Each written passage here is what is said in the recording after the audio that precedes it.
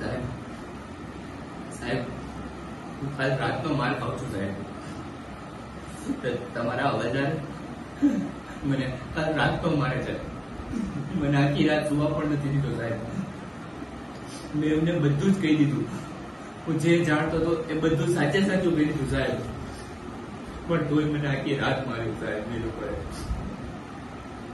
આ બધું છે ને પેલા પેલા પિન્ટુના હિસાબે થયું છે સાહેબ આખી ચોરીનો પ્લાન પેલા પિન્ટુનો હતો.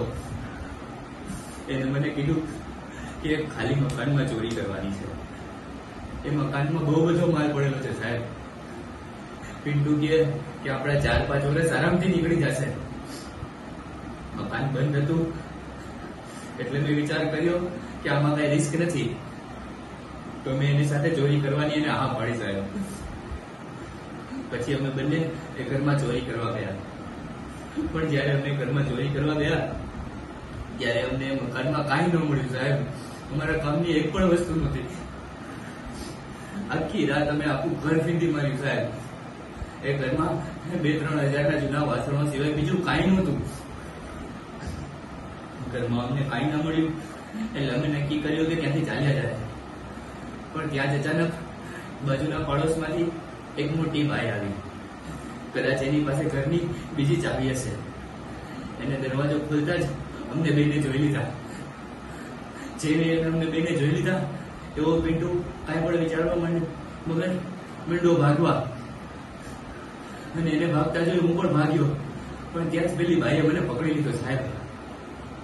મેં પિન્ટુને રાડ પાડી, પિન્ટુ પિન્ટુ, મને બચાવ. પણ પિન્ટુ ભાગી ગયો, સાહેબ. અને ઓલી ભાઈ મને પકડીને જોર જોરથી રાડો પાડવા માંડી. ચોર ચોર ચોર હું ગભરાઈ ગયો સાહેબ. હું બહુ ગભરાઈ ગયો. અને મેં એક જોરદારનો ધક્કો માર્યો એ પેલા જાડી ભાઈને એ ભાઈ દિવાલમાં ભટકાઈ અને ત્યાં જ પડી ગઈ.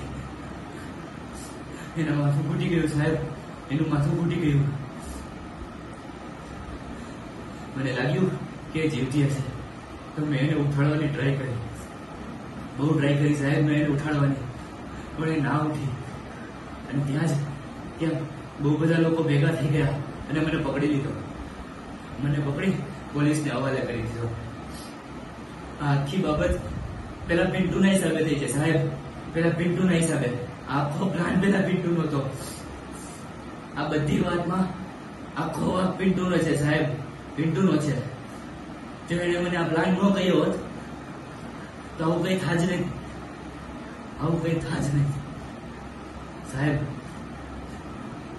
આખી વાત પિન્ટુના કારણે થઈ છે. તમે જ કહો સાહેબ, તમે જ કહો. આખી વાતમાં વાક કોનો છે સાહેબ વાક કોનો છે.